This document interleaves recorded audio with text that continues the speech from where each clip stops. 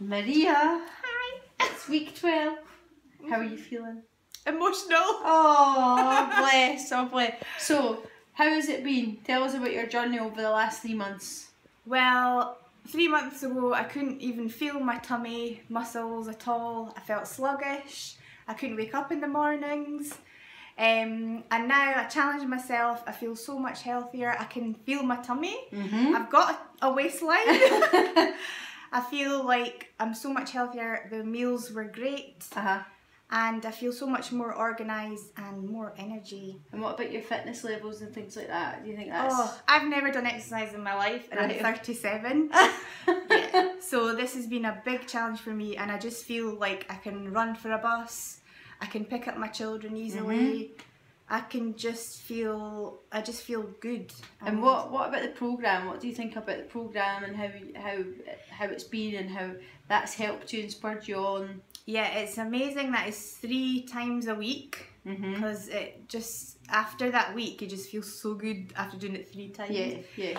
and um, the recipe book's great because it or it organises your life and it makes Uh-huh. you plan in advance Uh huh. Totally. and really tasty meals. I Uh-huh. absolutely love it, and um, yeah, it just I think the organisation is what what So you really just need. it's obviously if you've been in a bit of a rut, it's getting Mhm. back into taking care of yourself and trying to make yourself a priority. Because obviously you when you first started, you were working full time, you had your Yeah. kiddies, that kind of thing. I, and I all- had a bit of a flat because I did, and I didn't think I could do it. Especially I, I would I've done all like mainly the six a.m. Mhm, sessions, mhm. but that was the only times that it would work for me. But that's fine. and I didn't think I could even wake up. Uh-huh. And I, I've done it, and I want to do another 12 weeks. Oh, bless.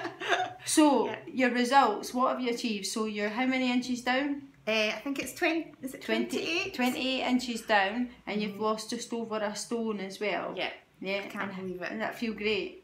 It feels great. I didn't think I could do it. I was so heavy before.